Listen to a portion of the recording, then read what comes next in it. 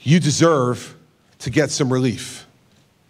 And now you hear a little bit different thing now, right, from the Democrats, because they trotted out that old one first on being fiscally irresponsible and, and they know how to spend your money better to invest it. And that didn't play all that well.